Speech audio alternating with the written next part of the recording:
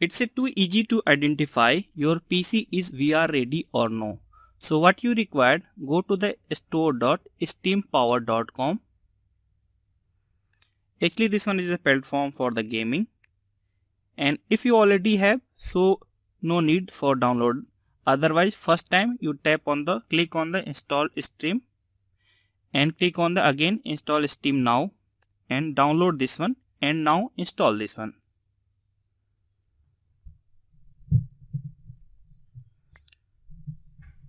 and after that just click on the next. Accept the agreement and again click on the next. Choose your language. And after installation just click on the run steam so it will be going for it now it's going to be update their database. So let it be updated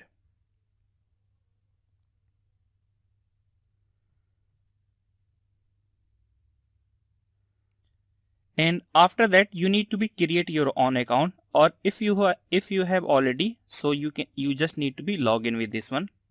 So I already created one account so now I'm going to be log in with this one.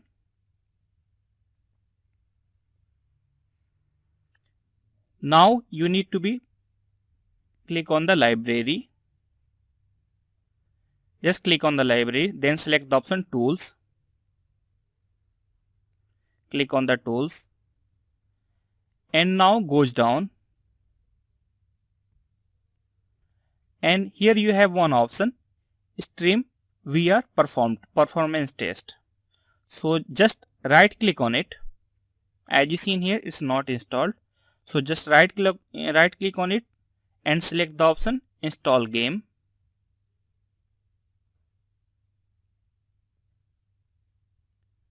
And again click on the next to install this one it will take approx 5 to 10 minutes it completely depend upon to your internet connection. And then after click on the finish.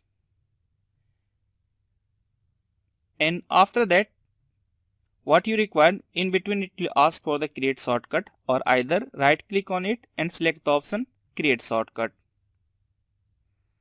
Okay so now I already created one shortcut. So now I'm going to be open the shortcut for that uh, stream test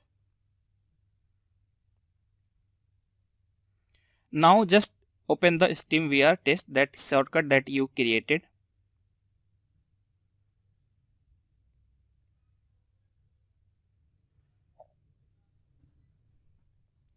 As you seen here, now it's going to be uh, performing the test on your PC and it will take approx 2 to 3 minutes. And so what you require just wait and it's a really good uh, graphics animation that are showing. As you seen here now performance test is started. And it really looks very good. Means uh, if you have experience with the VR uh, this VR is looked like this.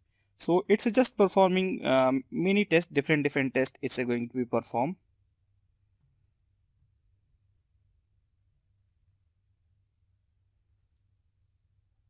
As you seen here everything one door is open and one robot will become and he tried to do some things. Actually and if you if you have uh, if you don't have a good graphics card maybe on that same condition your uh, laptop or pc will be hit. So be careful about it.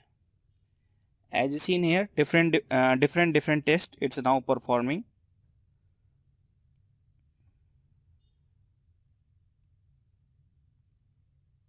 and it's a really amazing it's a really looking amazing means uh, whatever test that they are doing.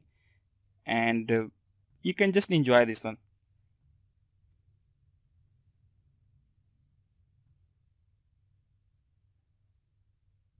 And after completion it will be give you the result. And on based on that result result you are able to identify. As you seen here now it's showing me upgrade required. So what's the region? Os is okay and but the main problem is with my graphics card. Actually currently windows 10 is installed with intel core uh, i7 with 16 GB RAM and 8 cores but the graphics card is only I required to upgrade this one. Current one is 2 GB so mine one is required the upgrade. So in this way you are easily able to identify your PC is VR test ready or no. So hope you like my videos. Please subscribe. Thanks. Thanks for watching and enjoy VR on your PC.